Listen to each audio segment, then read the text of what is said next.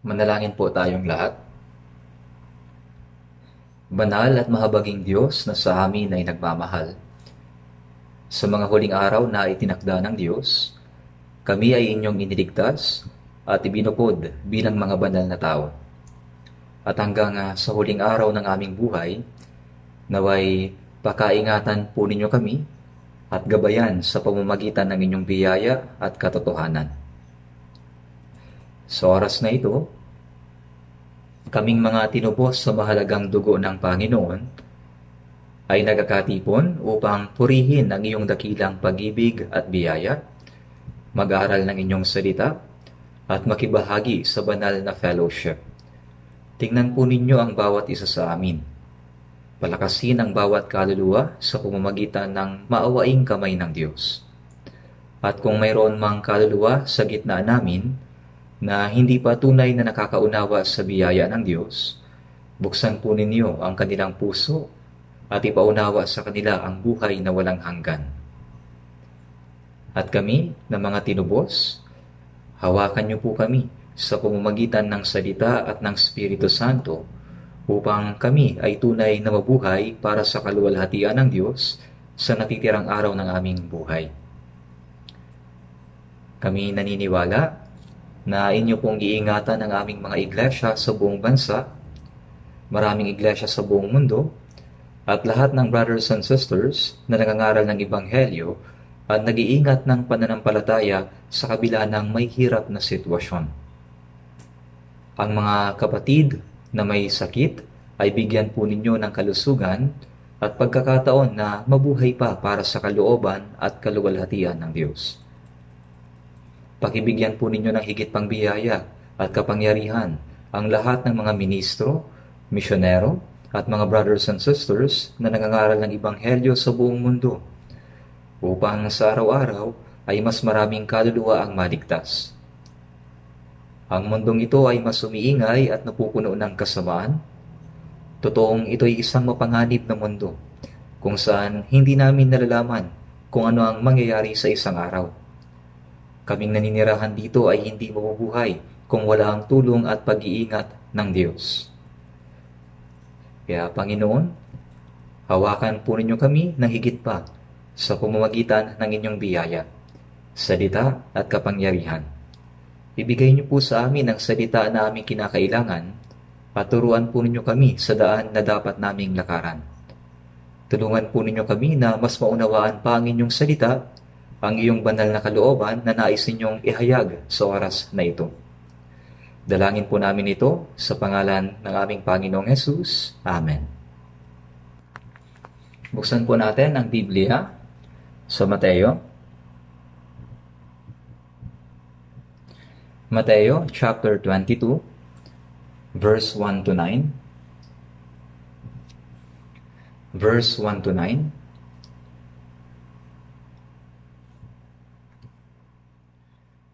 Mateo chapter 22 verse 1 to 9. Mateo chapter 22 verse 1 to 9.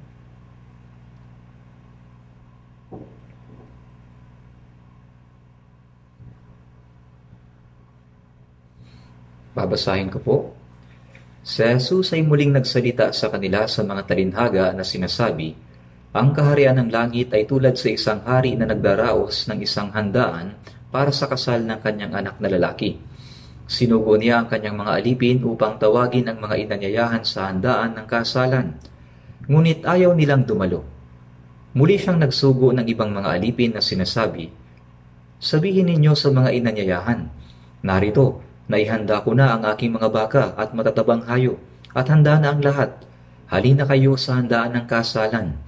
Ngunit hindi nila ito pinansin at sila'y humayo ang isa'y sa kanyang sariling bukid, ang isa'y sa kanyang pangangalakal.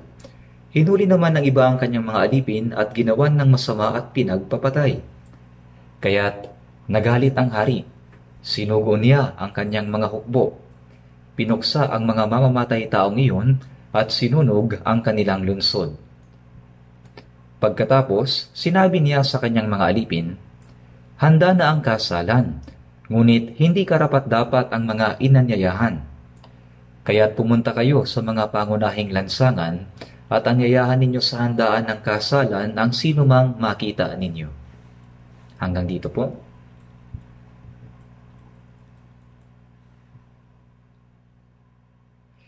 Sa nakalipas na pitong beses na summer retreat, ang mga brothers and sisters na naunang naligtas ay nagkaisa sa panalangin, nagtulungan, at nagsumikap na gumabay sa mga kaluluwa patungo sa Panginoon. Bilang resulta, naniniwala ako na kumilos ang Diyos at maraming kaluluwa ang bagong naligtas. At bilang karagdagan, ang mga Bible seminars ay nagpapatuloy sa ating bansa. Lubos tayong nagpapasalamat at natutuwa kapag nakikita natin ang pagkilos ng Diyos sa pangangaral ng Ibanghelyo at maraming kaluluwa ang naliligtas. At ramdam natin ang malinaw na katibayan na ang Diyos ay gumagawa sa gitna natin. Gaya ng alam ninyo, Maraming mga natural na sakuna ang nangyayari ngayon sa buong mundo. Sa ilang lugar ay may mga tagtuyot at ang mga tao ay namamatay dahil sa gutom, dahil walang makain. Mayroon ding mga lugar na may malalakas na ulan at maraming tao ang namamatay. Mayroon ding mga lindol. Noong isang araw, nabasa ko sa dyaryo na sinuri ng mga Amerikanong siyentipiko ang kalagayan ng ating mundo. At nasabi nila na kung ikukumpara daw ito sa kalagayan ng tao, mayroon itong siyam na malubhang sakit. Siyam na malubhang sakit at sa kasalukuyan ay anim ang nagpapahirap dito. May alta presyon na daw ito. Ibig sabihin, Ang kasalukuyang mundo ay parang pasyente na may malubhang sakit. Ang mundong ito ay puno na din ng kasamaan. Bago hinatulan ng Diyos ang mundo sa pamamagitan ng tubig, sinabi na ang mundo ay napuno ng kasamaan. Gayon din ang Sodoma at Gomora, punong-puno ng kasamaan, ng kasalanan, kaya't hinatulan ng Diyos sa pamamagitan ng apoy at asupre. Ngayon, sa katapusan ng mundo, habang umuunlad ang agham, sibilisasyon at kaalaman, ang mga kasalanan ay mas lalo pang dumarami. Siyempre, ang lahat ng mga ito ay paggawa ng Diablo na lumalaban sa Diyos.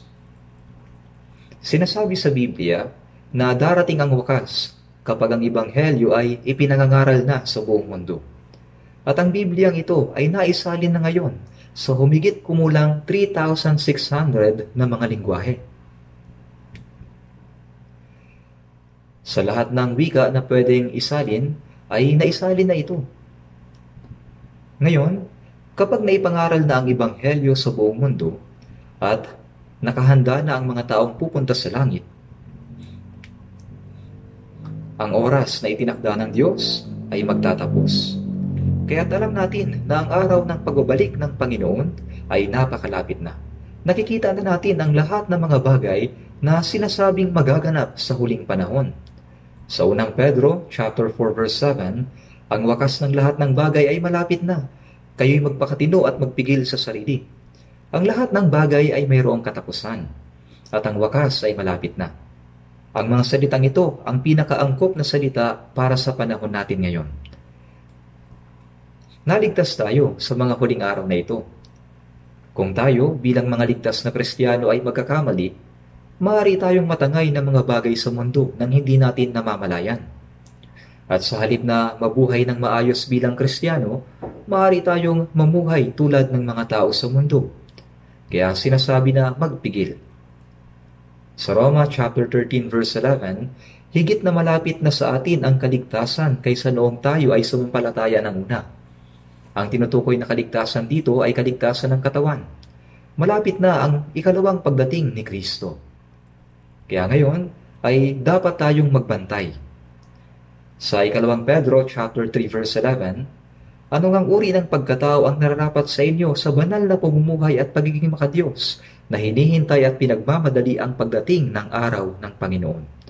Dapat tayong manabik sa pagdating ng Panginoon at mabuhay bilang karapat-dapat ng mga taong sasalubong sa Kanya. Nalalaman natin na malapit nang magtapos ang panahon ng biyaya na itinakda ng Diyos. At ang puot at paghatol ng Diyos sa mundo ay darating.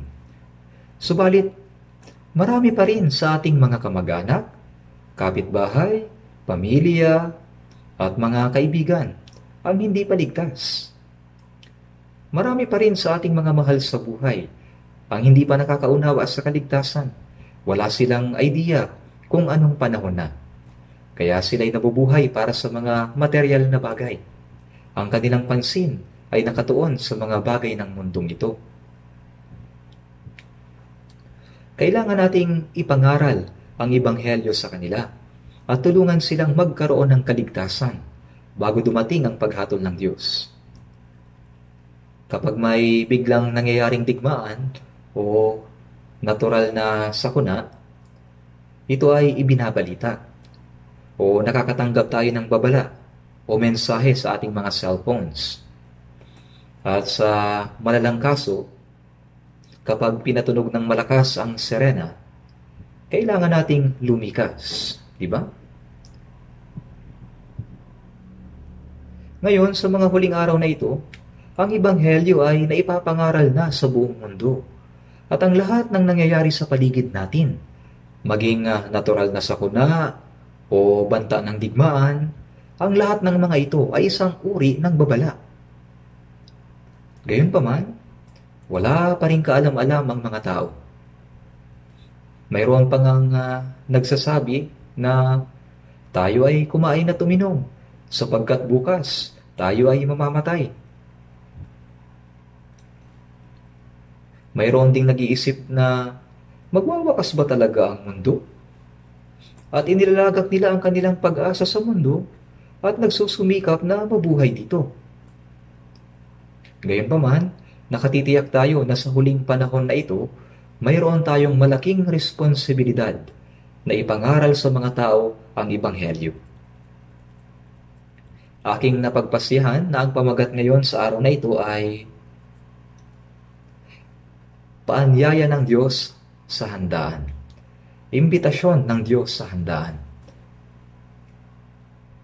Sa mga awit, 50 verse 1, Ang Diyos na Panginoon ay nagsalita at tinatawag ang lupa mula sa pagsikat ng araw hanggang sa paglubog niyon.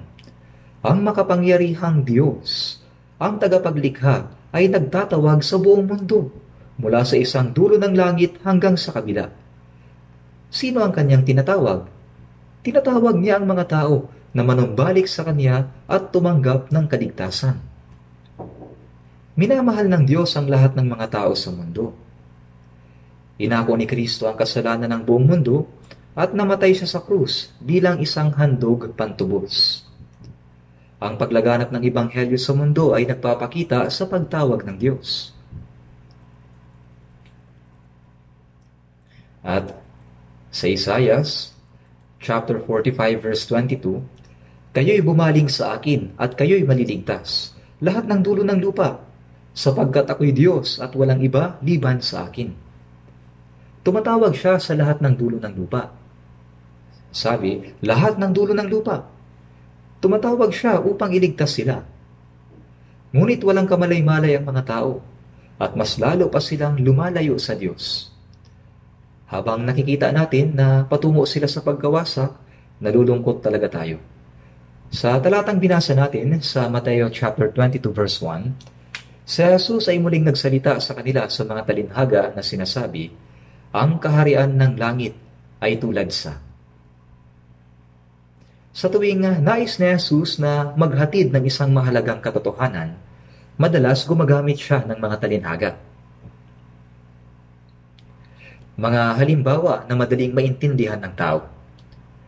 Talinhaga man na madaling maunawaan. Dito, sinimulan niya ang kanyang pagtuturo sa kasabihang ang kaharian ng langit ay tulad sa. Walong beses itong makikita sa aklat ng Mateo. Ang kaharian ng langit ay tulad sa. ito ay isang paglalarawan sa gawa ng Diyos na nilikha ng Diyos ang mga kaluluwa ayon sa kanyang larawan. Subalit sila ay nagkasala at mapupunta sa impyerno. Ngunit hindi sila pinabayaan ng Diyos. Sa halip, ibinigay ng Diyos ang kanyang tanging anak bilang pantubos doon sa krus. At ang biyayang ito na ibinigay niya sa mga ay ibinigay niya sa mga taong nakaunawa at tumanggap ng kaligtasan. Ginawa silang mga tao na papasok sa langit. Kaya ang gawain ng paghahanda para ang tao ay makapunta sa langit at pagliligtas ng mga kaluluwa mula sa pagkawasa ay ipinaliwanag sa ganitong paraan. Isinilarawan. Ang kaharian ng langit ay tulad ng gawain ng paghahanda sa mga tao para sa kaharian tulad sa Mateo chapter 13, sa talinhaga ng paghahasik ng binhi, ang kaharian ng Diyos ay gaya ng isang tao na naghahasik ng binhi sa lupa. At ang binhi ay ang salita ng Diyos. Ngayon, ang salitang ito ay ang Ibanghelyo. Inihasik ang binhi at ang mga nakinig at nakaunawa sa salita ay tumanggap ng kaligtasan. Ang binhi ay ang salita ng Diyos. Ito ay kanyang ipinaliwanag sa Mateo chapter 13. Dito, ibang talinhaga ang ginamit. Ang kaharian ng langit ay tulad sa isang hari na nagdaos ng isang handaan para sa kasal ng kanyang anak na lalaki. Ginamit ni Jesus ang talinhagang ito upang ilarawan ang Diyos. Sinabi niya, isang hari. Ang Diyos ay katulad ng isang hari na nagdaos ng handaan para sa kasal ng kanyang anak. Sa katunayan, ang kasalan ang pinakamasaya sa lahat ng mga handaan. Kung dadalo ka sa libing, mayroong umiiyak at malungkot ang paligid. Pero sa handaan ng kasalan, mayroong babae at lalaking ikakasal. Masasarap na pagkain at ang lahat ay masayang nagdiriwang. Sa John chapter 2, makikita natin na si Jesus, inanyayahan siya sa isang piging ng kasalan. At sa kalagitnaan ng pagdiriwang, naubusan ng alak. Ano ang tinutukoy dito na piging na naubusan ng alak? Itinuturing ng mga tao na ang kapistahan ay para sa kasiyahan. Ito ay para sa kasiyahan, di ba? Hindi para sa iyakan o malungkot na okasyon, kundi para sa kasiyahan ang pista.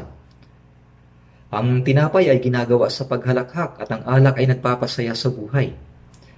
At alak, alak ang pinaka pinipili sa mga kapistahan. Nagpapasaya sa mga tao.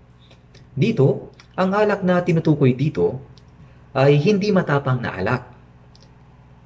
May iba't ibang klase ng alak. Mayroong malagrape juice, mayroong pangkaraniwan, at mayroong matapang na alak. Subalit ang pinakakinasisiyahan ay ang masarap na alak na pwedeng inumin ng lahat. Sa Gyeongsang province sa Korea noong unang panahon, kapag ang mga tao sa nayon nagdaraos ng pista, gumagawa sila ng matatamis na alak mula sa bigas. Parang ganito ang tinutukoy dito. Ang bawat bahay naghahanda ng kanya-kanyang alak mula sa bigas. Mayroon itong kakaibang tamis at sarap.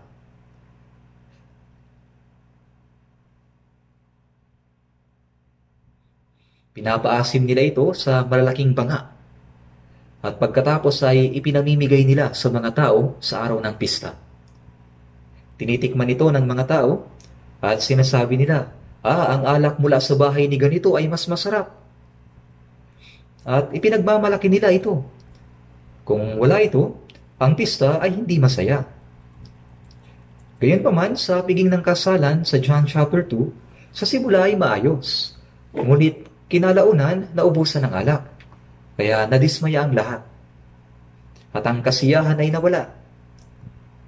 Gaya ng alam niyo, mayroong limang malalaking tapayan doon sa piging ng kasalan. Sa John chapter 2 verse 7, sinabi ni Jesus, punuin ninyo ng tubig ang mga tapayan. At pagkatapos ay himala. Ang tubig, ginawa niyang alak. Ito ang unang himala na ginawa ni Jesus. Ang piging na walang alak ay kumakatawan sa mundong ito. Ang mga tao sa mundong ito ay gumagawa ng samot-saring paraan upang magkaroon sila ng kasiyahan. Umawit sila, nagsasaya at kung ano-ano pa. Subalit, ang lupang ito ay isinumpa dahil sa kasalanan. Ang mga tao sa isinumpang lupang ito ay nagsusumikap na paunlarin ang sibilisasyon, sining, agham upang magkaroon ng kasiyahan. Ngunit magtatagumpay ba talaga sila? Ito'y panandalian lamang. Habang sinusubukan nilang maghanap ng kasiyahan sa isinumpang lupain dahil sa kasalanan, ang kanilang kaluluwa ay mas napapalayo sa Diyos. Ang kasiyahan ng laman ay pansamantala at panandalian kaya naman, ang mundong ito ay may hahalin sa isang piging na naubusan ng alak. Walang alak. Nang ang tubig ay ginawang alak, kadalasan, kadalasan inihahain muna ng mga tao ang masarap na uri ng alak. At pagkatapos, panghuli yung alak na mababa ang kalidad. Kapag ang mga tao medyo nakainom na, pumupurol na ang kanilang panlasa. Kaya katanggap-tanggap na bigyan sila ng mas mababang uri ng alak. Gayunpaman, ang alak na ginawa ni Jesus ay napakasarap, hindi tulad sa inihanda ng mga tao. Si Jesus ay nagbigay ng napakasarap na alak sa isang piging na naubusan ng alak. Ito ay nagpapakita sa atin na sa pamamagitan ng gawain ng kanyang pagliligtas, ibibigay niya sa atin ang tunay na kapayapaan, kagalakan, kasiyahan, at kagalakan na wala sa mundong ito. Ngayon sa Mateo chapter 22, ito ay inihambing sa isang hari na nagdaos ng piging para sa kasal ng kanyang anak. Ang hari ay kumakatawan sa Diyos at ang kanyang anak ay kumakatawan kay Jesus. Ang kapistahan na idinaos para sa anak ay hindi lamang para sa anak, kundi handaan para sa lahat ng tao upang maligtas sa pamamagitan ni Yeso Kristo. Sa loob ng kapistahan, nagagalak ang Diyos at si Yeso Kristo ay lubos na nagagalak dahil ito ay pagdiriwang para sa kaligtasan ng lahat ng tao. Itong piging ng hari ay espesyal. Nagpadala muna siya ng mga paanyaya. Sa panahon ngayon, nagpapadala tayo ng mga imbitasyon sa kasal, di ba? Kapag naitakda na ang petsa ng kasal, nagpapadala tayo ng mga invitation sa ating mga kakilala Inaanyayahan natin sila na dumalo sa kasal at makibahagi sa kagalakan. Dito, ang hari nagdaos ng piging. Nagpadala siya ng imbitasyon ng maaga at may mga inanyayahan.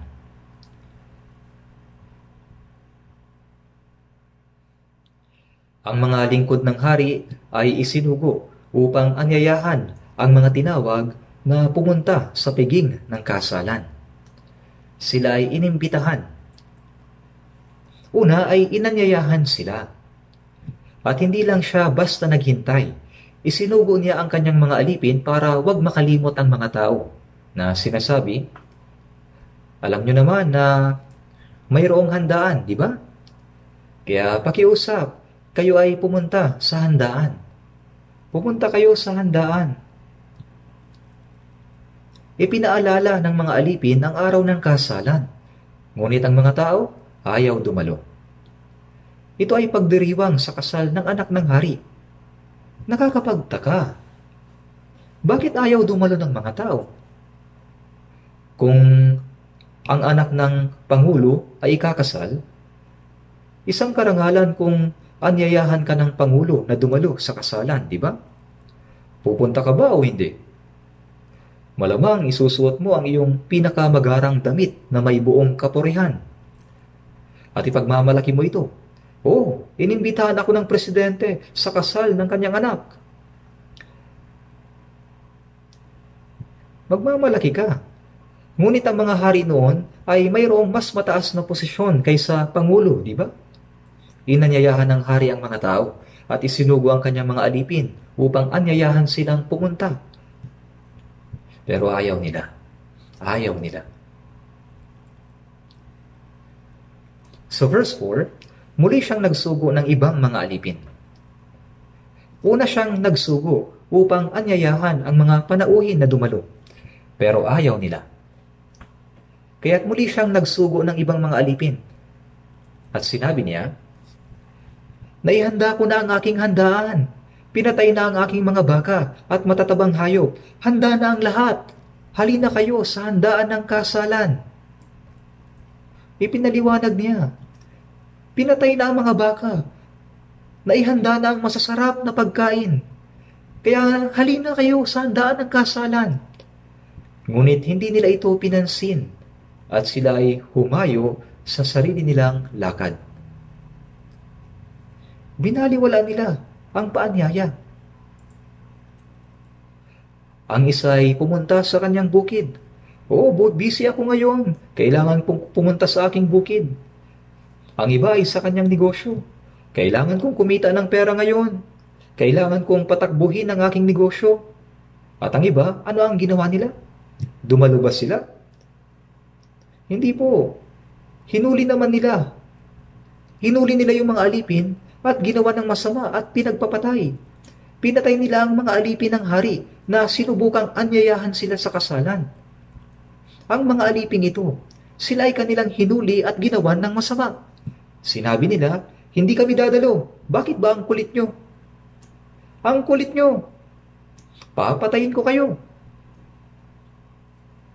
Ganyan ang kanilang ginawa. Ginawa nila ng masama at pinagpapatay. Nangyayari ba ang ganitong bagay sa mundo? Sa katunayan, nangyayari talaga ito. Kaya si Jesus ay nagsalita tungkol dito sa Mateo chapter 22. Hinuli naman ng iba ang kanyang mga alipin at ginawan ng masama at pinagpapatay. Kaya't nagalit ang hari. Sinugo niya ang kanyang mga hukbo. Pinuksa ang mga mamamatay taong iyon at sinunog ang kanilang lunsod. Nagalit ang hari at kanyang sinabi, Napakasama ninyo!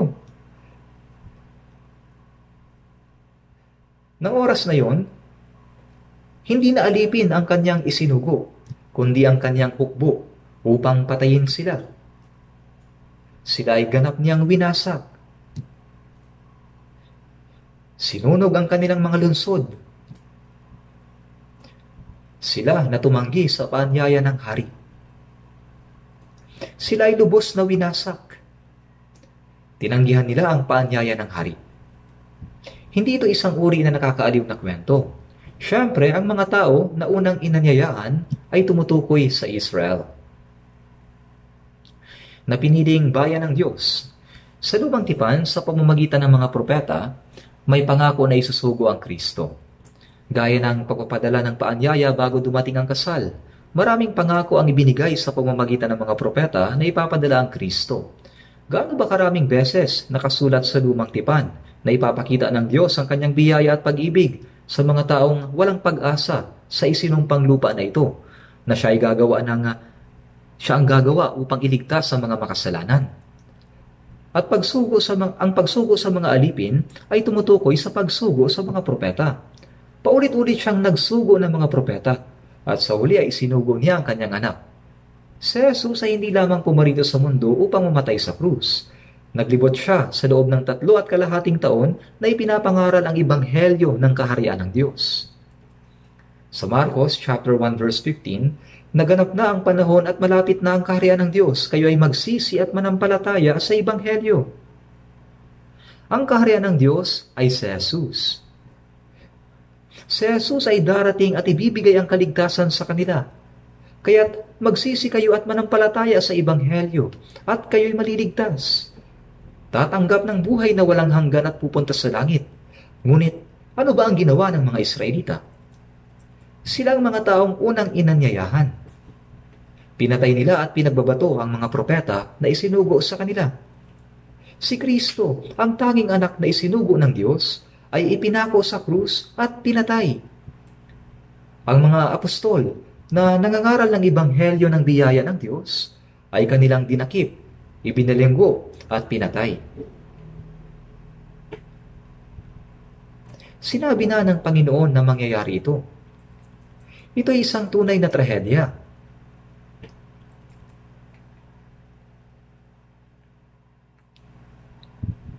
Ang katotohanan ito na sinabi ni Jesus ay nangyari talaga. Nangyari talaga ito. Alam natin ito.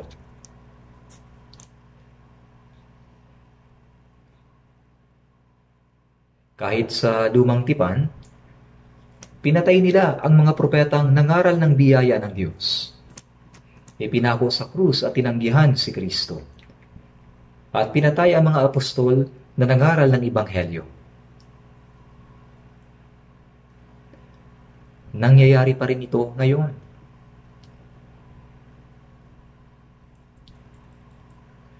Tingnan po natin sa Isaiah chapter 25 Babasahin ko po mula Isaiah chapter 25. Isaiah chapter 25 verse 6.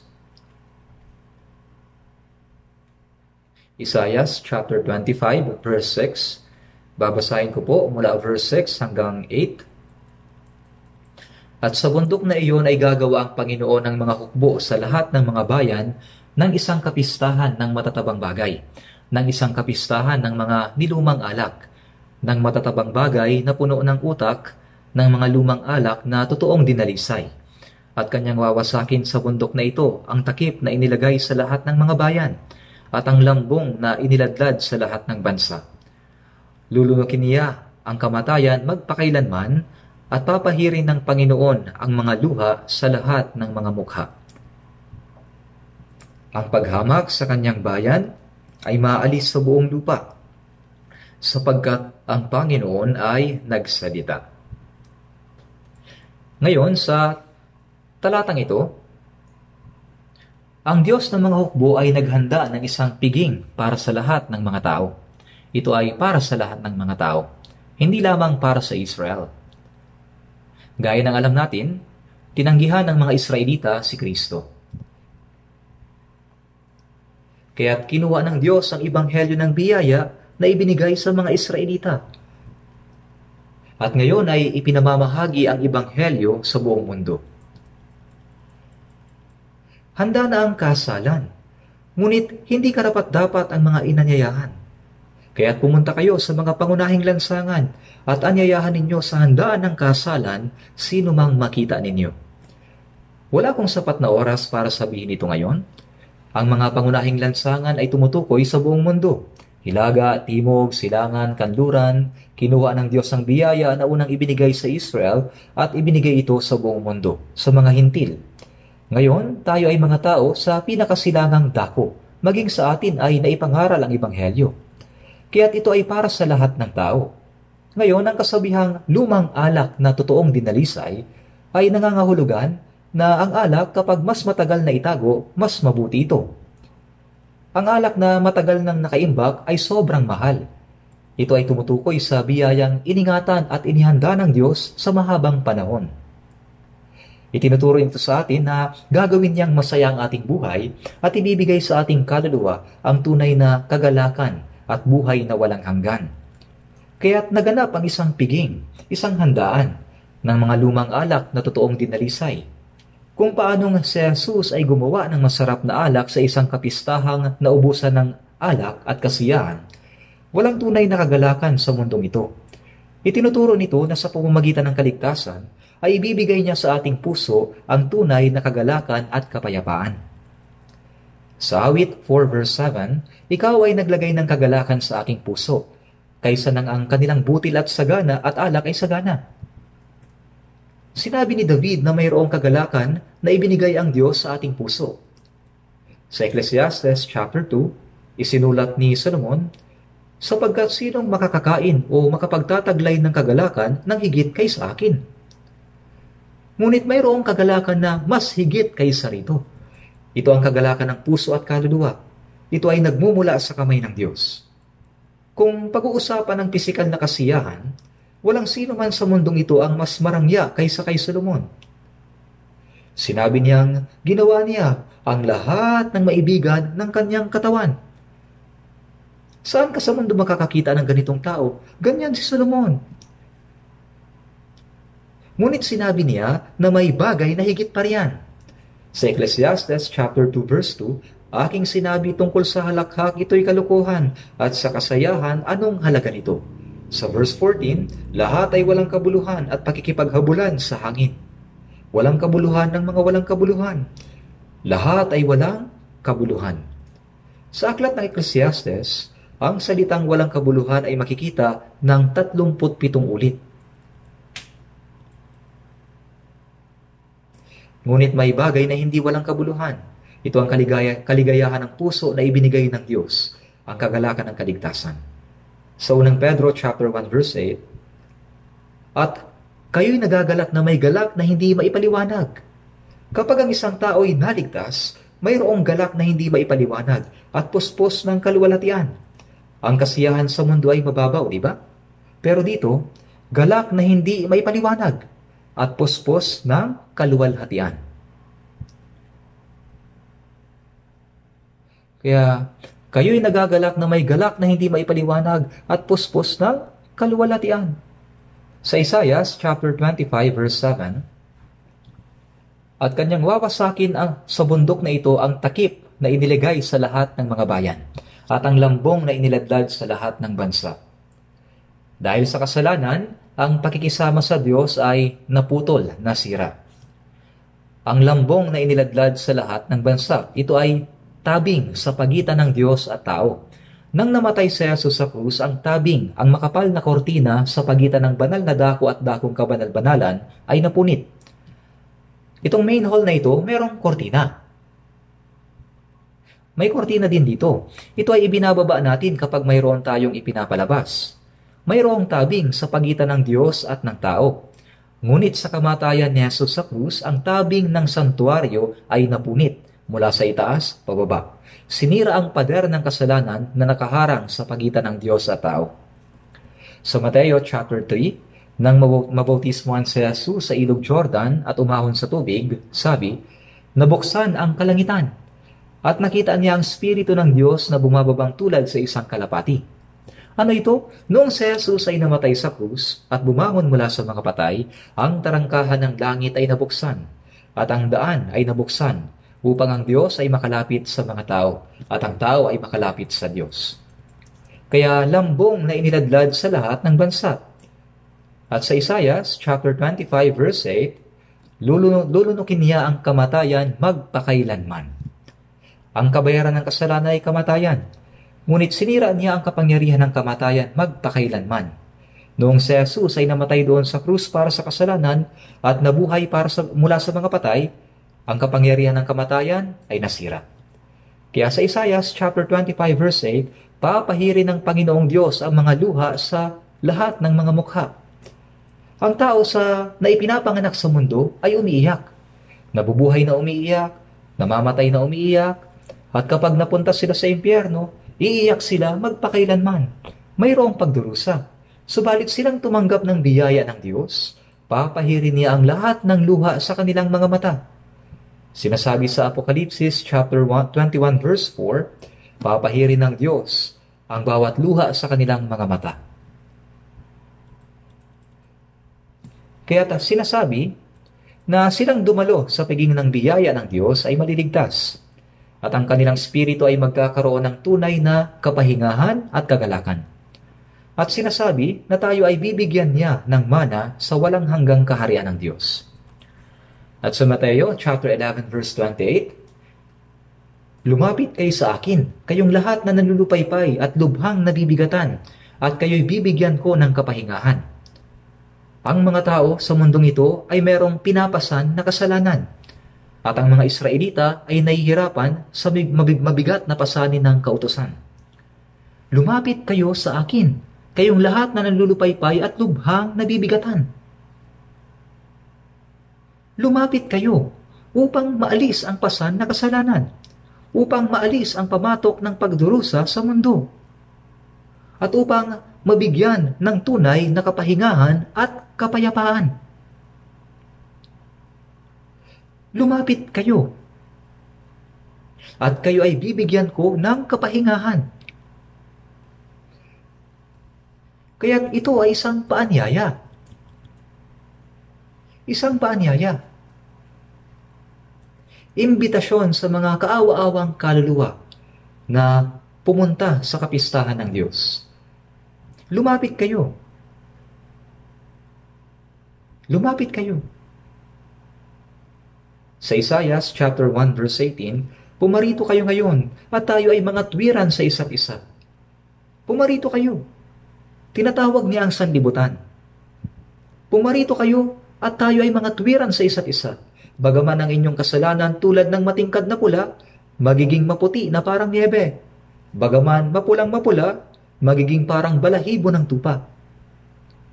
Anumang kasalanan ang nagawa ninyo, magiging malinis iyan, nakasing dalisay ng niebe.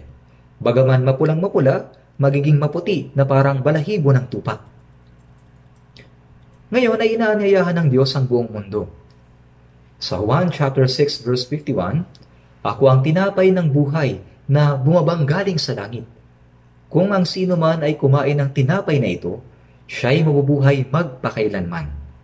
Si Jesus, siya ang tinapay na bumaba mula sa langit, na nagbibigay ng buhay na walang hanggan sa mga tao.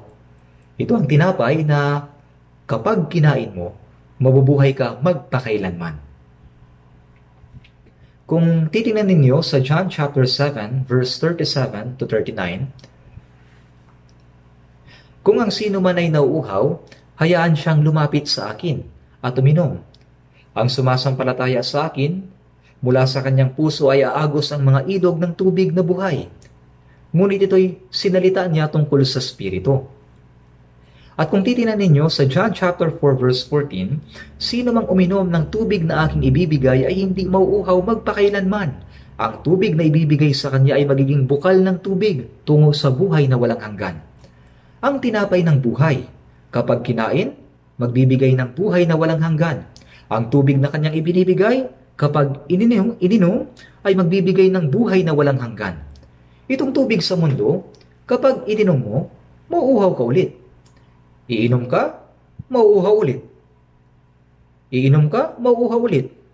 At kapag hindi ka uminom, ikaw ay mamamatay. Ngunit ang tubig na ibinibigay ng Panginoon ay para sa buhay na walang hanggan, hindi na mauuhaw pang muli. Yeah, sabi rito handaan. Alam ninyo, masarap pumunta sa kasalan.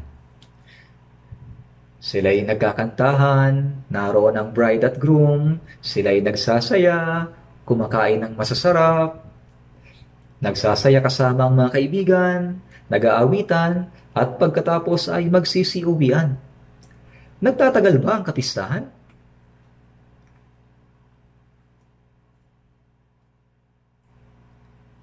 Pag uwi nila, andun pa din ang lahat ng mga problema. Sinusubukan nilang makalimot sa mga kahirapan sa sandaling panahon. Naalala ko, isang beses, nagpunta ako sa Yoso para sa Bible Seminar. At mayroong isang maliit na isla sa baybayin ng Yoso. Ngayon, gumawa na sila ng kalsada para makarating doon. Pumunta ako at pagbalik ko, may isang babae na nakasuot ng magandang hanbok. At nakasuot siya ng magandang hanbok. At natutulog siya sa gilid ng kalsada. Naglasing siya. Napapatingin sa kanya ang mga taong nagdaraan. Napapaisip sila. Anong ginagawa nito diyan? At sumagot siya, Pakiusap, intindihin niyo na lang ako. Nagsasaya lang ako para makalimot sa lahat. Marahil pag uwi niya sa bahay, meron siyang biyanan na parang tigre. O hipag na parang oso. O asawang parang leon. May mga tao na nagkakasakit dahil sa pag-inom ng alak ng sobra. Kasi gusto nilang makalimot sa mga problema. Sila ay kumakanta, sumasayaw, naglalasing, at nawawala sa sariling katinuan. At sinasabi nila, intindihin nyo na lang ako. Intindihin nyo na lang ako. Nakakaawa naman sila. Tunay na hindi magtatagal ay magwawakas ang lahat. Di ba? Sa Esther, chapter 1, si Haring Ahasueros ay naghanda ng isang kapistahan para sa lahat ng tao kapistahan sa loob ng pitong araw dahil ang kanilang bansa ay naging masagana. Sila ay nagsalo-salo. Ang pitong araw ay mahabang panahon, di ba? Isang kapistahan. Ngunit ito ay may katapusan. Ang mga tao sa mundo ay may kanya-kanyang kapistahan. Sa Lucas chapter 12, may isang taong mayaman na umani ng masagana. Gumawa siya ng malalaking kamalig at tinipon ang lahat ng kanyang mga butil at pag-aari. At kanyang sinabi, Kaluluwa, marami ka ng pag-aaring nakaimbak para sa maraming taon. Magpahinga ka, kumain ka, uminom ka, at magsaya ka. Subalit sinabi sa kanya ng Diyos, Hangal, sa gabing ito ay kukunin ng iyong kaluluwa. At kanino kaya mapupunta ang lahat ng mga bagay na inihanda mo? Ang araw ng kamatayan at kahirapan ay parating na sa mga taong naninirahan sa mundong ito na isinumpa dahil sa kasalanan. Subalit gusto nilang aliwin ang kanilang spirito sa pamamagitan ng mga kayamanan. Kaluluwa, Marami ka ng pag-aaring nakaimbak para sa maraming taon. Siya'y mayaman. Magpahinga ka. Kumain ka. Uminom ka. Magsaya ka. Ngunit ang Espiritu ba ay nasisiyahan sa mga bagay na ito? Kaya sinabi ng Diyos, hangal. Isa kang hangal. Ang iyong Espiritu ay hindi nasisiyahan sa mga bagay na ito. Hindi ka magkakaroon ng tunay na kasiyahan malibang matanggap mo ang kapatawaran ng kasalanan, kaligtasan, buhay na walang hanggan. Sinusubukan nilang magpakayaman upang sila'y makalimot kahit na sandali. Sa Job chapter 21 verse 7, bakit nabubuhay ang masama, tumatanda at nagiging malakas sa kapangyarihan? Sa verse 10, ang kanilang baka ay naglilihin ng walang humpay. Ang kanilang baka ay nanganganak at hindi napapahamak ang kanyang guya. Kanyang inilabas ang kanilang mga bata na gaya ng kawan, at ang kanilang mga anak ay nagsasayawan. Sila'y nag-aawitan sa saliw ng tamburin at lira, at nagkakatuwaan sa tunog ng mga plauta. Ang mga taong pupunta sa impyerno ay nagpapakasaya ang pagbubundi ng masama ay maikli. Sila ay mga hangal na sa ngayon ay nagpapakasaya. Pinapaunlad nila ang siyensya, sibilisasyon at sining sa mundong ito na isinumpa dahil sa kasalanan. Gumagawa sila ng kawili-wiling mundo. Sinasabi nilang itong mundo daw ay langit. Pero meron bang ibang langit? Napakabuting kumain, uminom at magsaya. Ano ba yung kaluluwa na yan? Hindi nila iniisip ang tungkol sa Diyos at Espiritu o tungkol sa mangyayari pagkatapos ng kamatayan. Ayaw nilang isipin ang tungkol sa mga bagay na ito. Interesado lang sila na kumain, uminom, at magpakasaya.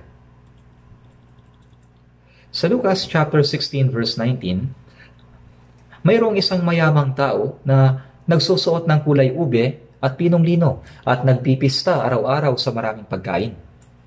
Dahil sa siya'y mayaman, siya ay nagpipista araw-araw sa maraming pagkain. Ngunit isang araw, namatay ang taong ito. Siya ay nagkasakit, uminom ng mamamahaling gamot, pero namatay. Ang mga tao ay gumawa ng malaking lapida at magarang libing para sa kanya Ngunit saan siya napunta? Siya ay namatay at na nagtungo sa Hades. Namatay siya.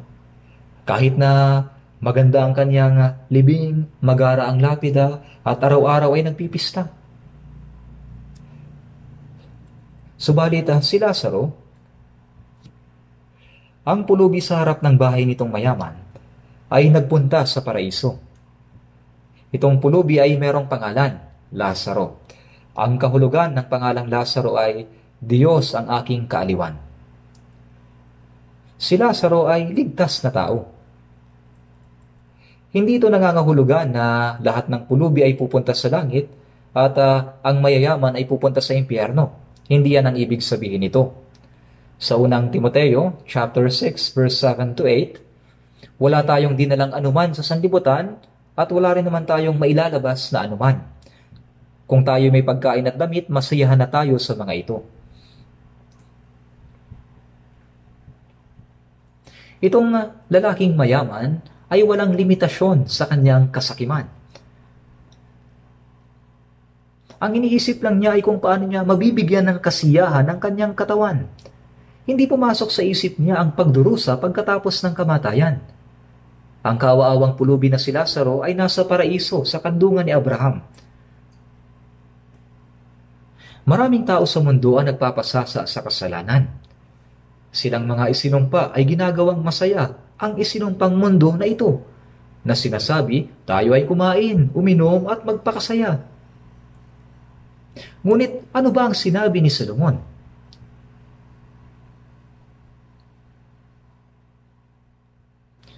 Sa Ecclesiastes chapter 2 verse 2, Aking sinabi tungkol sa halakhak, ito'y kalokohan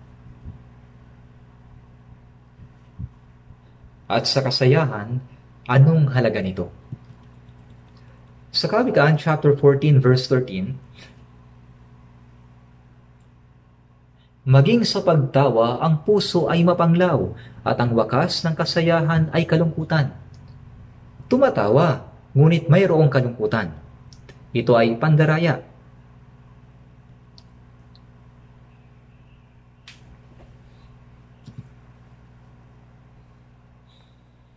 Ngunit hindi pinabayaan ng Diyos ang mga hamak na kaluluwa, kundi siya ay naghanda ng isang handaan para sa kanila. Ito ay handaang hindi natatapos sa kaunting oras. Sino mang dumalo sa handaang ito, nang minsan ay hindi lamang magagalak habang nabubuhay sa mundong ito, kundi magagalak din sa buhay na walang hanggan kasama ang Diyos. Ang handaang ito ay nagpapatuloy magpakailanman mula ng araw na tayo ay maligtas hanggang sa pagpunta natin sa langit. Sa ganitong kapistahan, ang paanyaya ng Diyos.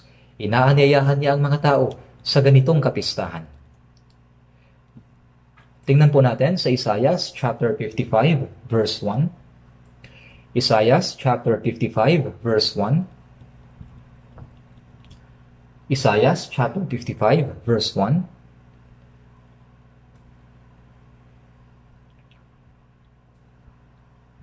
Isaiah chapter 55 verse 1 O lahat ng nauuhaw, pumarito kayo sa tubig, at siyang walang salapi, pumarito kayo, kayo ay bumili at kumain, pumarito kayo, kayo ay bumili ng alak at gatas ng walang salapi at walang halaga.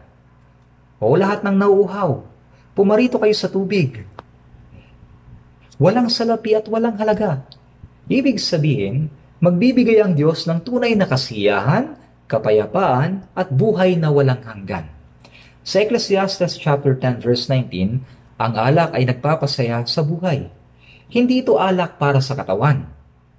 Kung maintindihan mo ang katotohanan, ang kaluluwa mo ay magkakaroon ng kagalakan at walang hanggang kasiyahan.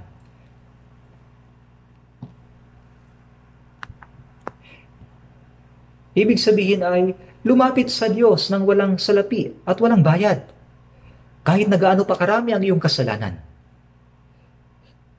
Sa Isaiah chapter 55 verse 3, ang iyong tainga ay iyong ikiling at pumarito ka sa akin.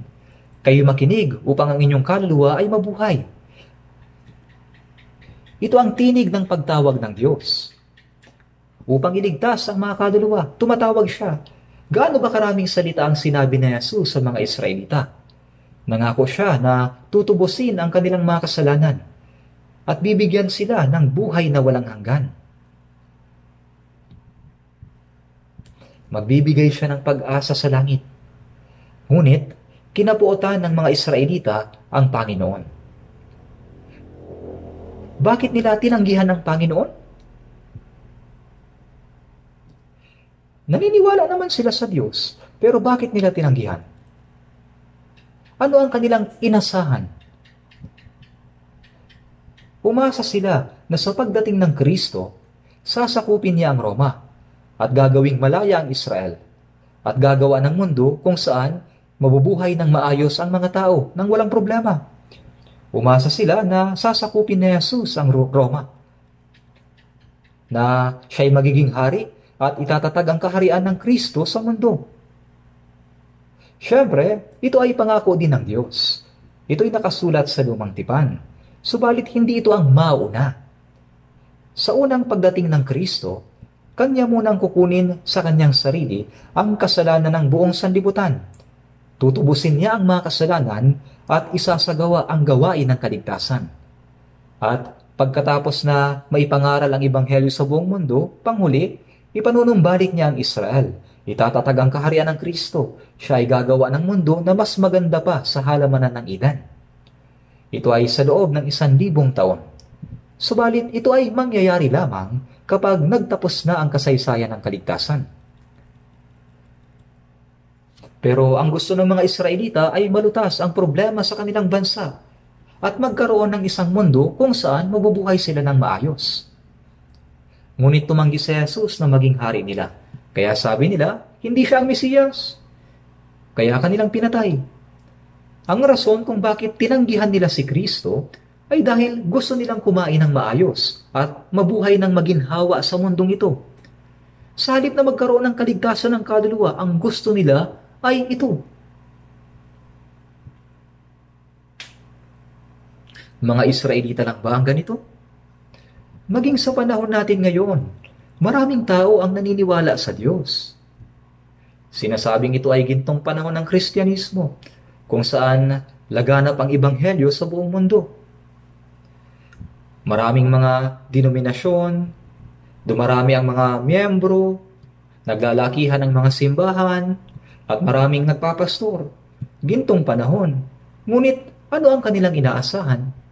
Kung papakinggan ninyo ang kanilang panalangin, panalangin ng mga naniniwala kay Jesus, gusto nilang bigyan sila ng Diyos ng mga bagay-bagay. Ah, naway makakuha ng mataas na grado ang anak ko, maka pasok sa mabuting universidad, makapagtapos at makakuha ng magandang trabaho para makapagpumuhay ng maayos. Lumago nawa ang negosyo ng aking asawa, maging malusog nawa ang aking pumbuong pamilya, nananalangin sila para sa mga bagay na ito. Wala itong pinagkaiba sa mga pumupunta kay Buddha para manalangin sa pagpapala. Nananalangin ba sila na maipanganak na muli? Hindi. Nananalangin ba sila na maligtas? Hindi. Kapag tinatanong mo, mayroon ka bang pag-asa na makapasok sa langit? Sumasagot sila, malalaman ko lang yan kapag ako'y namatay na. Napakalabo ng kanilang pananampalataya. Sinasabi nila, nagsisimba naman ako, nananalangin at nagbibigay ng offerings. Dadalhin ba ako ng Diyos sa impyerno? Oo, siya ay pupunta sa impyerno.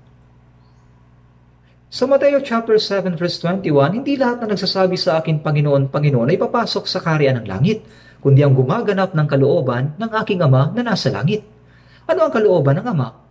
Sa John chapter 6 verse 40, na ang bawat nakakakita sa anak at sa kanya'y sumampalataya ay magkaroon ng buhay na walang hanggan. Ang kalooban ng Diyos ay ang magkaroon ng buhay na walang hanggan. Pero sinasabi nila na ang pagsampalataya daw ay pagsisimba na ang pagsampalataya daw ay ang paggawa para sa Diyos. At sinasabi nila na ang pagpunta sa simbahan ay ebidensyang pinili ka ng Diyos. Ito ay kasinungalingan. Ito ay kasinungalingan na gawa ng Diablo. Gayunpaman, ang mga Kristiyano ngayon ay tulad sa mga Israelita na pumako kay Jesus. Hindi sila interesado sa Spirito. Hindi sila interesado sa langit. Noong 18th century, ang mga ibanghilista tulad nila John Wesley, Charles Spurgeon, Charles Finney at George Whitefield, sila ay talagang aktibong nangaral ng ibanghelyo sa Europa. At sa Amerika naman, ang gawain ng ibanghelyo ay nagsimula sa pamamagitan ni D.L. Moody. Mayroong maningas na apoy ng ibanghelyo. Subalit ngayon, tila ba ang apoy na ito ay lubos ng naglaho? Hindi ko na makita. May kaunti pang natitira sa Estados Unidos. Ngunit kahit iyon ay napakahina. Tila nagmamalaki itong pakinggan, ngunit wala akong makitang anumang samahan na aktibo at matapang na nagpapalaganap sa Ibanghelyo na gaya ng sa atin. Nakapagtataka. Malapit nang dumating ang araw ng puot ng Diyos.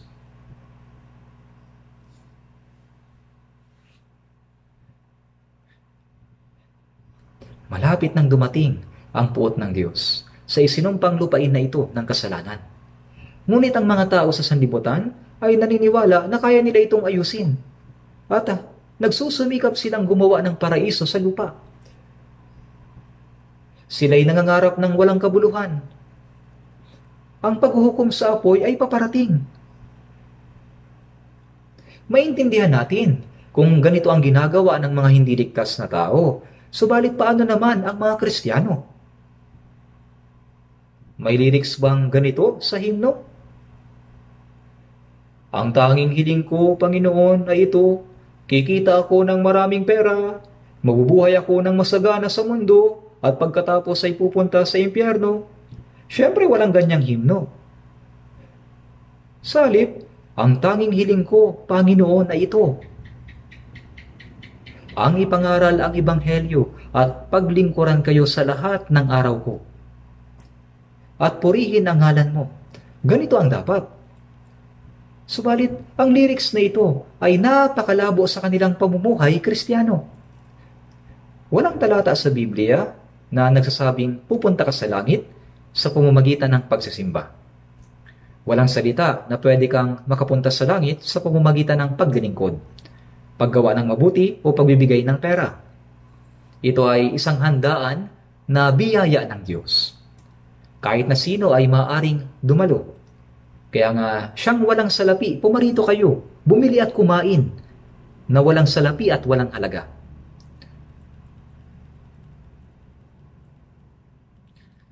Sa pamamagitan ng handaang ito, ang spirito ay naliligtas.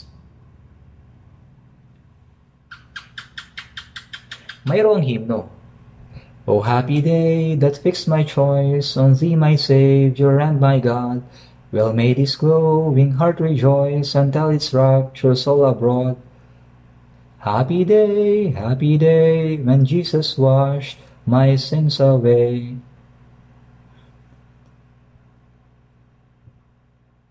Happy day, happy day, masayang araw, nang ang Espiritu ay naligtas. Happy day! Happy day! Minsanan lang ba ang kagalakang iyon ng kaligtasan? Hindi, ito ay walang katapusan. Ang ating kagalakan ay magtatagal kahit sa langit. Tayo ay sama-samang dadalo sa handaan ng Diyos. Tingnan natin sa Kawikaan, chapter 15. Verse 15. Kawikaan pagkatapos ng mga awit, chapter 15, verse 15.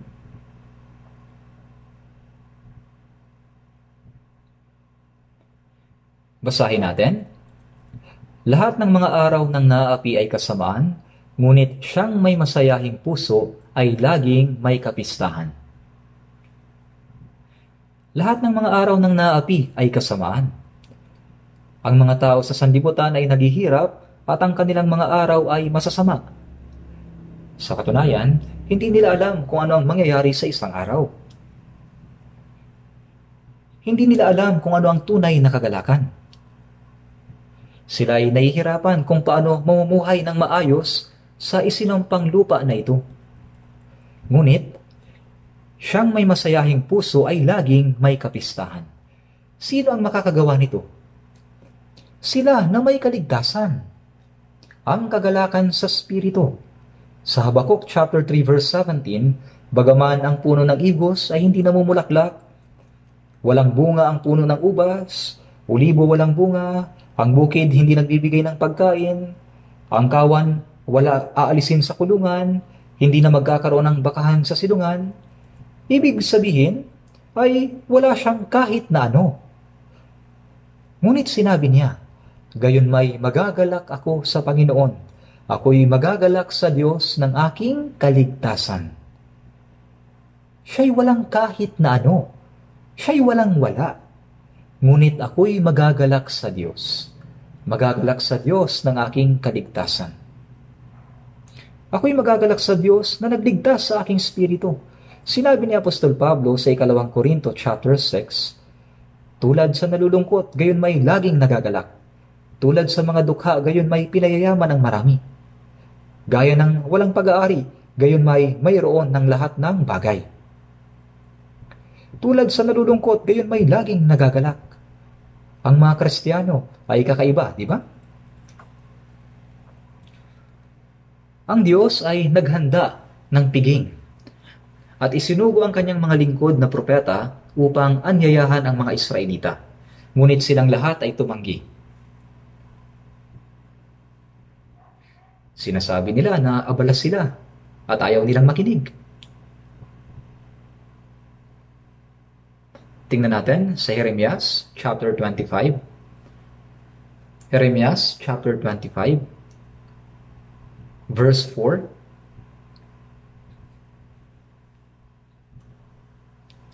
Jeremias chapter 25 verse 4.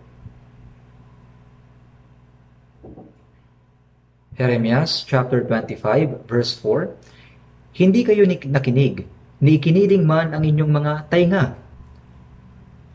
Hindi kayo nakinig, ni ikiniling man ang inyong mga tainga upang makinig bagaman patuloy na isinugo ng Panginoon sa inyo ang lahat niyang mga lingkod na propeta.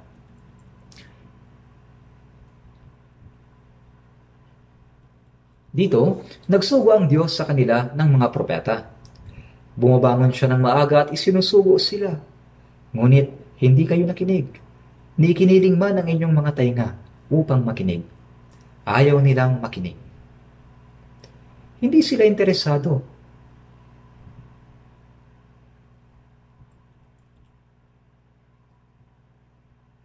Ang Diyos, siya ay nagaanyaya sa handaan. Naihanda ko na ang aking handaan. Pinatay na ang aking mga baka at matatabang hayop. Handa na ang lahat. Si Jesus ay namatay na sa krus. Dumanak ang mahalagang dugo upang mapatawad ang mga kasalanan magpakailanman at iligtas ang mga tao. Sinabi niya sa kanila na magkaroon ng kaligtasan at buhay na walang hanggan. Ngunit sabi nila, ayaw nila.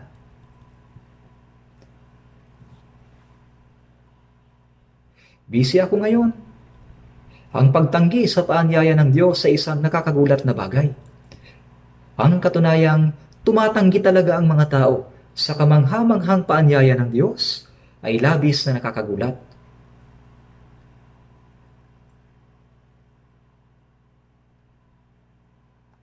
Sila'y humayo patungo sa kanilang bukid at negosyo. Tingnan natin sa Lucas chapter 14 Lucas chapter 14. Babasahin ko po mula sa chapter 14 verse 17. Verse 17. At sa oras ng hapunan ay sinugo niya ang kanyang alipin upang sabihin sa mga inanyayahan, Hali kayo sapagkat ang lahat ay handa na. Ngunit silang lahat ay pare-parehong nagsimulang magdahilan. Sinabi ng una sa kanya, Bumili ako ng bukid at kailangan kong umalis at tingnan iyon. Hinihiling ko sa iyo na pagpaumanhinan mo ako. Sinabi ng isa pa, Bumili ako ng limang magkatuwang na bakang lalaki at paroroon ako upang sila'y subukin. Hinihiling ko sa iyo na pagpaumanhinan mo ako. Sinabi ng iba, Ako'y nagpakasal kaya't hindi ako makakarating. Ang mga ayaw dumalo sa handaan ay mayroong mga dahilan. Bumili ako ng isang bukid at kailangan kong umalis at tingnan yon. Nabili na niya ang bukid. Kanya na ito. Wala nang makakaagaw dito. Hindi ito makatwirang dahilan. Sa Filipos chapter 3, nakatuon ang isip sa mga bagay na makalupa ang ilang tao ay nagmamalaki sa nabili nilang lupa. Pero, sa kanila ba talaga yon?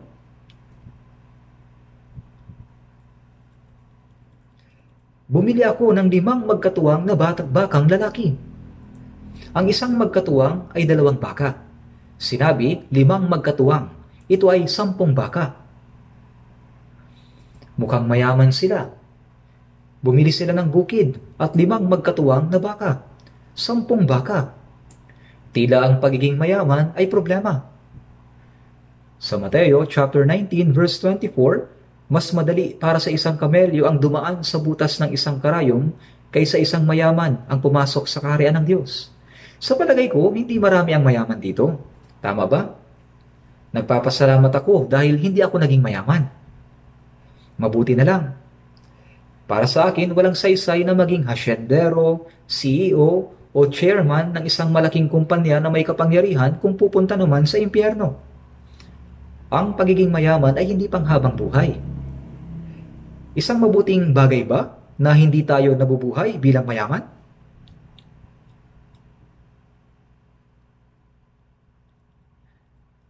Mabuti na lang at hindi tayo mayaman. Ano ba ang sinabi ng Biblia? Wala tayong dinalang anuman sa sanlibutan at wala rin naman tayong mailalabas na anuman. Kung tayo ay may pagkain at damit, masiyahan na tayo sa mga ito. Mayroon ka bang, ka bang damit at pagkain? Kung ganoon ay sapat na ito. Sa Lucas chapter 11 verse 3, ibigay mo sa amin sa bawat araw ang aming pang-araw-araw na pagkain. At pagkatapos ay ibinibigay niya ito sa atin. May isang uri ng pananabik sa marukhang pamumuhay, sa totoo lang. Sa totoo lang, ang Diyos ay siyang nagbibigay. Kaya mukhang uh, may pananabik sa marukhang pamumuhay. Kap kapag naubos na ng mga Israelita ang, pagka ang pagkain nila, bababa ulit ang mana sa umaga. Kaya bigyan mo kami ng aming pagkain sa araw-araw. Masayang mabuhay na umaasa sa Diyos araw-araw. Sabi naman ng isa, ako'y nagpakasal. Siya ay nahulog sa kasiyahan ng laman ng katawan at nasiraan ng bait. Hindi ako interesado sa handaan ng hari.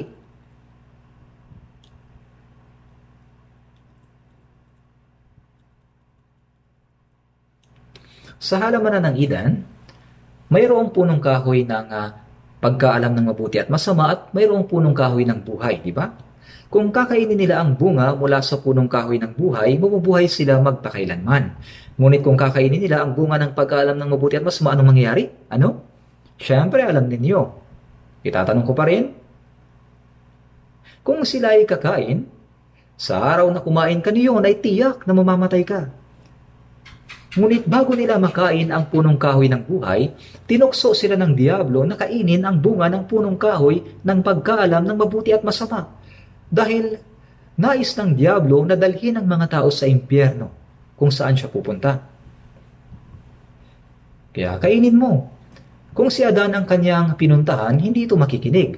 Kaya sinabihan niya sa Eva, Subukan mo, masarap ito. Kapag kumain ka, mabubuksan ang iyong mga mata at magiging kagaya ka ng Diyos na nakakakilala ng mabuti at masama. Sinabi ng Diyos na huwag kayong kakain dahil ayaw niya na kayo ay maging kagaya niya. Kaya subukan mong kainin. Siya ay tinukso ng Diablo. Dati, normal lang ang pagtingin niya sa prutas na ito. Pero pagkatapos marinig ang sinabi ng Diablo, naging kalugod-lugod sa paningin. Mabuting kainin at dapat nasain upang maging matalino. Nag-iba ang tingin niya sa prutas pagkatapos tuksoin ng Diablo. Kaya't kinain niya ito. At binigyan din niya ang kanyang asawa. Ito ang gawa ng Diablo. Kinain muna nila ang bunga ng punong kahoy ng pagkaalam ng mabuti at masama. Kaya't nawalan sila ng karapatan na kainin ang bunga ng punong kahoy ng buhay. Pinalaya sila sa halamanan ng idan. At pagkatapos ay ikinubli ng Diyos ang punong kahoy ng buhay. Sa unang Juan chapter 2 verse 17, Huwag ninyong ibigin ang sanlibutan ni ang mga bagay na nasa sanlibutan. Ang pag-ibig ng Ama ay wala sa sino mang umiibig sa sanlibutan, sapagkat ang lahat na nasa sanlibutan, ang masasamang pagnanasa ng laman, ang pagnanasa ng mga mata, at ang pagmamataas sa buhay ay hindi mula sa Ama kundi sa sanlibutan. Ito ay pain ng Diablo. Ang kalooban ng Diyos ay ang maligtas ang mga tao. Ang sanlibutan at ang pagnanasa nito pagnanasang sexual, pagnanasa sa karangalan at kapangyarihan, ang lahat ng mga ito ay lilipas. Ang sanlibutan at ang pagnanasa nito ay lumilipas. Hindi magtatagal ay maglalaho ang mga ito. Hindi magtatagal ang mga umaasa sa kapangyarihan ng buhay na ito.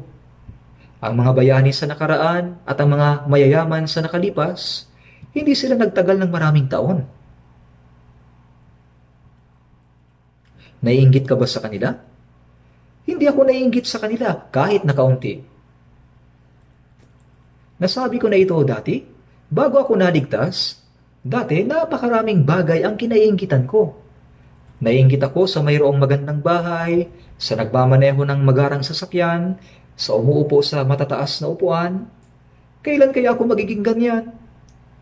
At pagkatapos ay nalaman ko na hindi pa pala ako ligtas. At naisip ko, kung mamamatay ako ngayon, pupunta ako sa impyerno. Paano ako maliligtas? At noong October 30, 1962, bandang alas 8 ng gabi, tunay na naunawaan ko ang biyaya ng Diyos at ako'y naligtas. At kahit na walang sino man na nagturo sa akin, nawala na ang inggit ko sa mayayamang tao sa mundo. Hanggang ngayon na hindi na ako nainggit. Totoo yan. Bakit ako magsisinungaling? Sa tuwing naiisip ko ang pagiging ligtas, lubos ako nagpapasalamat.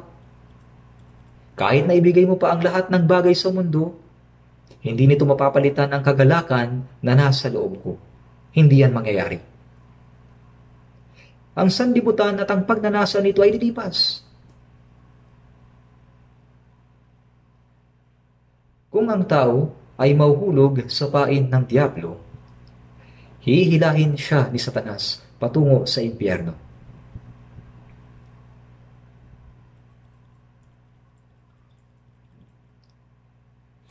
Kung pinagnanasaan mo ang mga pisikal na bagay na ito, mauhulog ka sa pain ng Diablo.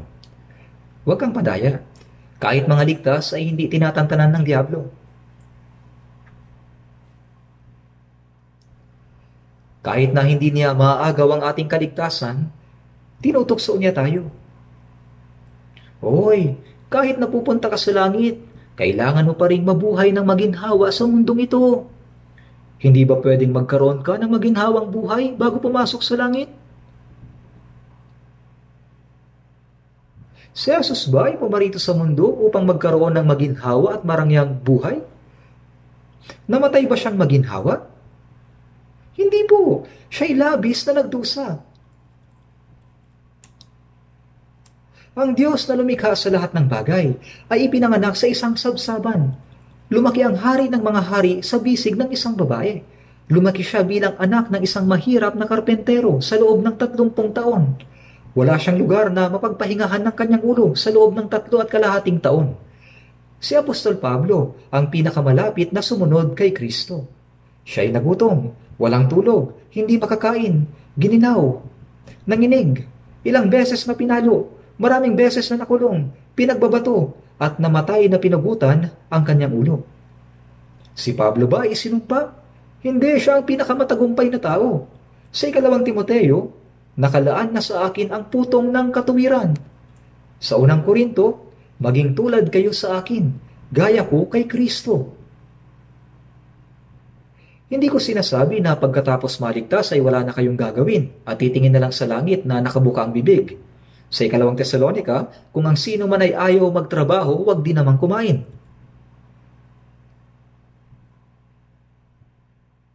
Kung ikaw ay nagtatrabaho, kumikita ka ba ng pera para kumain at magkaroon ng maayos na buhay sa mundo? Ito ba ang pangarap mo? Pag-isipan po ninyo. Kung ikaw ay nagtatrabaho o nagnenegosyo, kailangan mong magsumikap na mabuti. Pero side job lang ito. Bakit? Upang maipangaral ang Ibanghelyo Maraming bagay ang kailangan para maipalaganap ang Ibanghelyo. Nais ko na ang mga brothers and sisters ay magtrabaho mabuti at magtagumpay sa negosyo. Bakit? Kasi napakaraming gastusin. Nakita natin sa retreat center, di ba? Gaano ba karami ang naligtas ngayong summer retreat? Gaano ba natin ipinagmamalaki ang summer retreat? Basta na lang ba ito nangyayari? Wala nang sapat na matutulugan at puno na ang paligid ng retreat center. Ang ilan ay natutulog sa mga tent at ang iba ay natutulog sa pulpito. Kaya dapat tayong mabilis na magpatayo ng mga lodging area. Bakit? Dahil karamihan ay naliligtas sa mga retreat. At ang pananampalataya ng mga naligtas ay lumalago sa summer retreat. Habang tayo ay nagsusumikap at nagpapawis, pagod ang ating katawan, subalit ang puso natin ay naguumapaw sa kagalakan. Lumalago ng husto ang pananampalataya ng maraming brothers and sisters pagkatapos dumalo sa retreat. At maraming naliligtas. May nagtatanong, magkano naman ang magagastos sa pagpapatayo ng retreat center? Ito ay hindi bababa sa 50 billion won. Mataas ang construction cost sa mga araw na ito. Kung ganon, paano natin ito may tatayo? Sa tingin ko, simple lang Huwag kayong mag-alala tungkol dito. Simple lang? Paano naging simple? Kung Kung mayroong limang daang tao na magbibigay ng offering na tigwa 100 million won, mabilis natin itong maipapatayo. Tama, simpleng math. Ganoon ka simple. Kung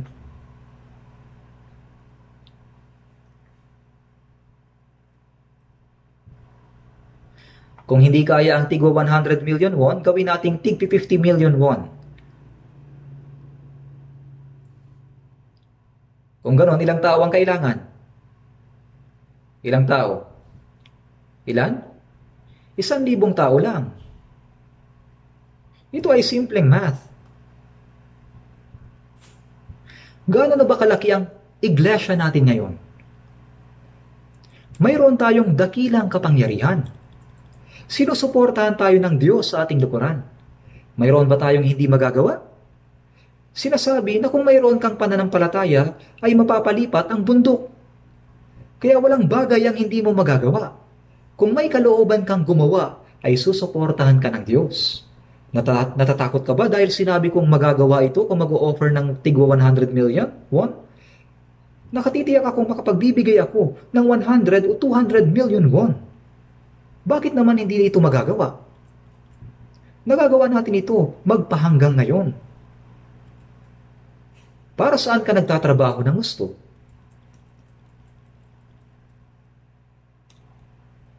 Ganito ang sinasabi ng mga mayayaman bago sila mamatay. Sabi nila, mayroon akong bahay meron akong bahay. Pero hindi ko alam kung sino ang titira pagkatapos kong mamatay. Mayroon akong mamahaling sasakyan, pero hindi ko alam kung kanino ibibigay ang susi. Hindi ko alam kung sino ang gagamit ng lahat ng aking pera.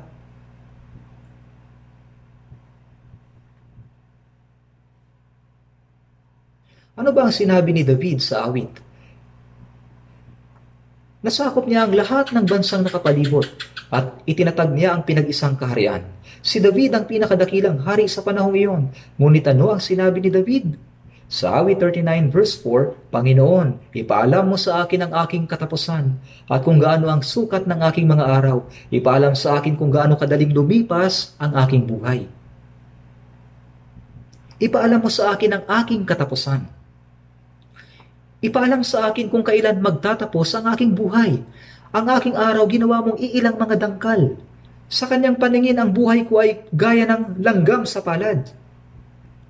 Sa paningin mo'y tulad sa wala ang aking buhay. Tama. May mga nagsasabing, nagtagumpay ako. Subalit, mismong sa araw na yon, siya'y namatay. Tunay na bawat tao ay nakatayong gaya ng isang hininga lamang.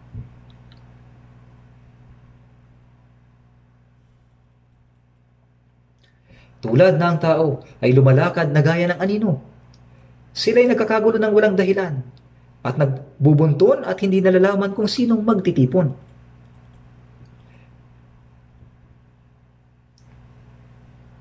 Sinong magtitipon?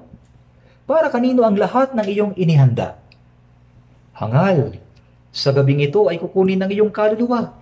At kanino kaya mapupunta ang mga bagay na inihanda mo? Sinabi ng Diyos, sa iyo ba ang lahat ng mga iyan? Gayunpaman, ang kasakiman ng tao ay walang katapusan. Nabara bang mabubuhay sila ng ilang libong taon? Ang buhay natin ay gaya ng isang gamo-gamo. Isang araw, bigla itong magtatapos.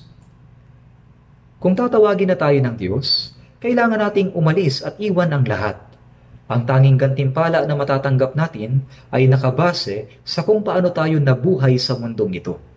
Dapat nating isaisip ito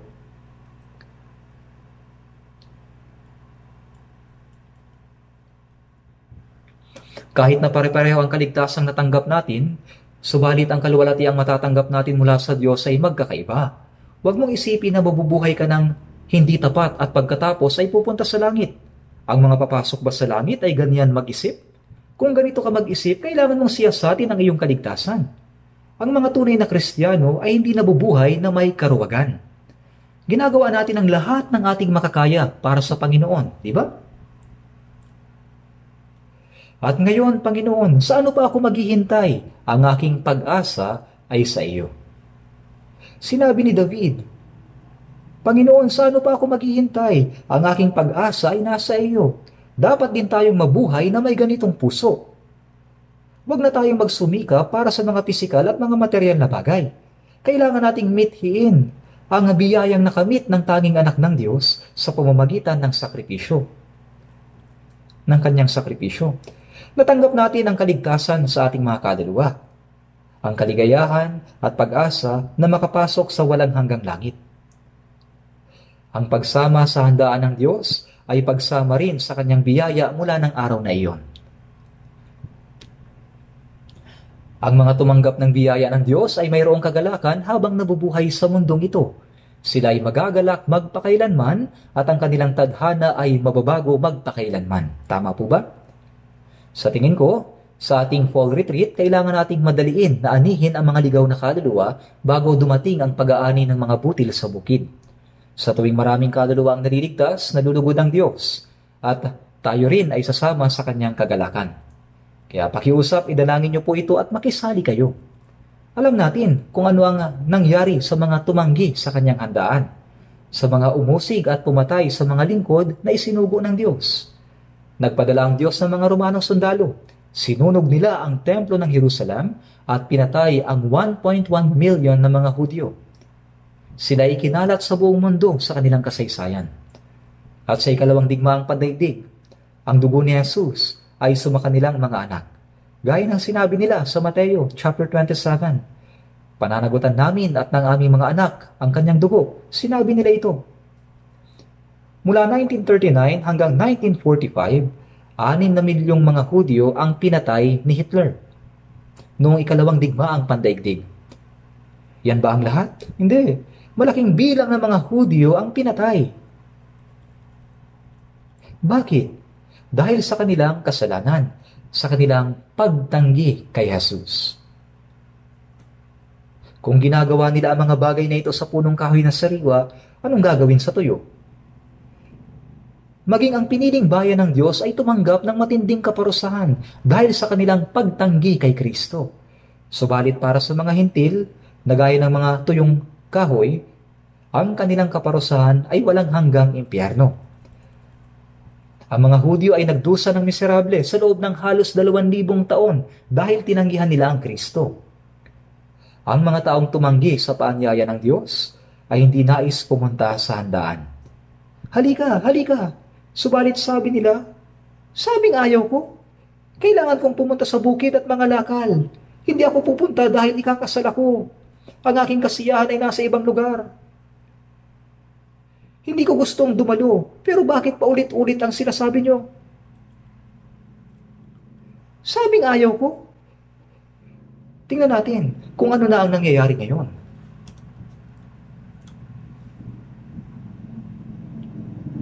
si Kim Jong-un, ang presidente ng North Korea, ay pupunta sa Russia at naghahanda ng isang bagay kasama si Putin. Mukhang pag-uusapan nila ang paghahanda para sa digmaang nuklear. Nais nilang simula ng ikatlong digmaang pandaigdig kasama ni Xi Jinping. Brothers and sisters, hindi na ito pangkaraniwan. Ang Panginoon ay darating bago gunawin ang mundo sa apoy. Iniingatan tayo ng Diyos habang tayo ay nangangaral ng Ebanghelyo. Kaya kailangan nating umasa sa Diyos sa araw-araw at maghintay sa pagbabalik ng Panginoon. At hindi natin dapat sayangin ang napakaikling oras na ibinibigay sa atin. Sino ang kailangan mag-anyaya sa mga tao sa handaan? Ang mga lingkod na isinugo ng Panginoon. Sa lumang tipan, ang mga propeta ay isinugo para sa mga Israelita. Noong panahon ni Jesus, isinugo niya ang mga apostol. Ngayon, tayong mga ligtas na Kristiyano ay kailangang humayo at ipangaral ang Ebanghelyo. Paano sila makikinig kung walang mangangaral? Paano sila mangangaral kung hindi sila isinugo? Tayo ang mga isinugo upang ipangaral ang Ebanghelyo. Isinugo tayo para sa layuning ito na ipangaral ang Ebanghelyo sa mga tao. Sinabi ni Apostol Pablo sa unang Korinto, chapter 9, verse 16, Kahabag-habag ako kung hindi ko ipapangaral ang Ebanghelyo. Alam ba ninyo na ang hindi pangangaral ng Ebanghelyo ay kasalanan? Para sa mga makasanlibutang tao, ang paggawa ng masama ay kasalanan. Hindi natin ginagawa ang masasamang bagay na iyon. Subalit, kasalanan din ang hindi paggawa ng mabuti. Kaya sa Santiago chapter 4, sino mang nakakaalam ng paggawa ng mabuti pero hindi ginagawa, ito'y kasalanan sa kanya. Ano ba ang pinakamabuti? Ang pangangaral ng Ebanghelyo sa mga ligaw na kaluluwa na patungo sa impyerno. Ito ang pinakamabuti. Kung hindi mo ito gagawin, kahit na alam mo, ito'y kasalanan. Kailangan natin itong gawin. Kailangan natin gawin ang lahat ng ating makakaya upang iligtas ang maraming kaluluwa bago dumating ang araw ni Kristo. Manalangin na po tayo. Mahabagin naming Amang Diyos, salamat po sa inyong biyaya na nagligtas sa amin sa huling mga araw na inyong itinakda. Salamat din po sa iglesia kung saan kumikilos ang Panginoon. At tinutulungan kami na sumunod at gumawa ng mabuti para sa kaluwalhatian ng Diyos. Maraming salamat po dahil pinahintulutan mo kami na tumulong at maisakatuparan ang gawain ng Diyos na magligtas ng maraming mga kaluluwa alang-alang sa Ebanghelyo. Huwag nawa naming aksayahin ang aming natitirang buhay sa paningin ng Diyos. At alang-alang sa banal na gawain ng Diyos, ituro po niyo sa amin kung ano ang dapat naming gawin. Sa fall retreat na malapit nang magsimula, nawa magdala ito ng malaking kagalakan at kaluwalhatian para sa Diyos sa pamamagitan ng maraming ligaw na kaluluwa na maliligtas. Para sa gawain ito, mangyaring hayaan ng lahat ng mga brothers and sisters na manalangin, magkaisa at magtulungan na may isang kaisipan upang maisakatuparan ang dakilang gawain ng Diyos. Ito po ang aming idinadalangin sa pangalan ng aming Panginoong Hesus. Amen.